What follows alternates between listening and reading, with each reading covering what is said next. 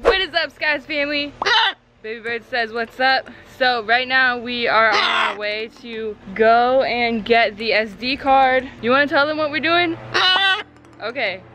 She says that we're getting the SD card. We are getting the SD card from the security predator cam. She gotta look out for her fellow bird friends, the AKA the, AKA the quails. All right, I'm going to take Baby Bird in the UTV. So, let's see how she does. Should be interesting. I'm gonna turn it on. Okay. I'm gonna let her get used to the engine a little bit. Very good job. You did such a good job. That must have been a little scary, huh? Yeah, you did such a good job. All right, are you gonna help me get the camera? Yeah, so as you can see, this is like a big baby girl ah! cage. Do you like it? Ah! Yeah, maybe we could put baby girl in here instead. Oh, you don't like that idea? You said no? Do you want your own big baby girl cage? What do you think? Ah! Okay, now this is a little baby girl cage.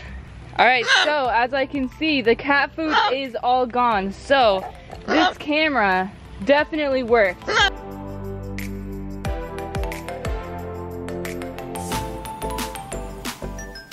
All right, let's see what is on this thing. Oh my gosh, it turns out that it was actually a wild macaw that was eating all the cat food.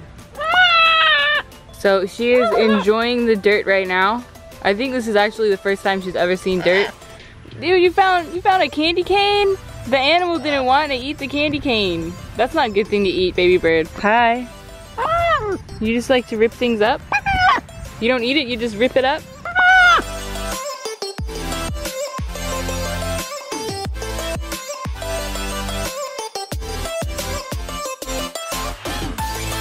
You wanna come up on my ah. hand?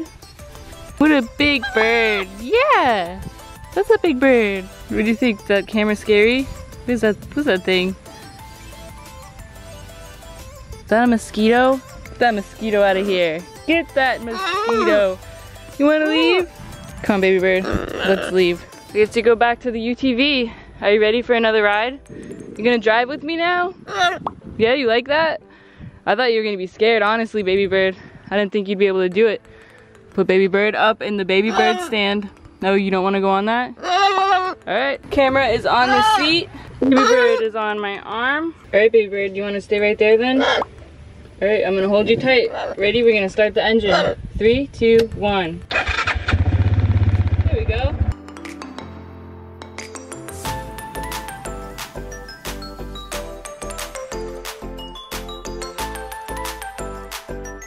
You did it, baby ah! bird! Wow! What a good bird! Ah! Yeah, I'm proud of you. That's very good.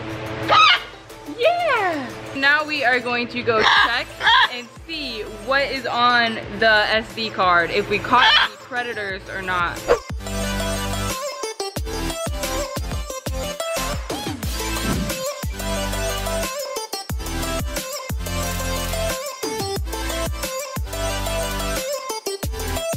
Alright guys, it is the moment of truth. I am going to put the Predator SD card in the computer. Oh my gosh, did we get anything?